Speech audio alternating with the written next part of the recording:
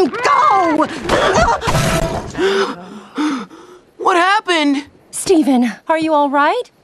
Why was Lion sleeping on top of you? I don't know.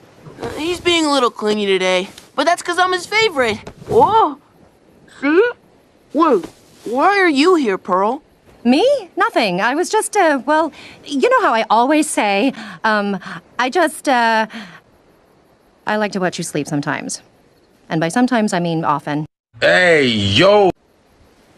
Okie dokie, it's time for everyone to leave Steven alone. I'm a growing boy and I need some rest.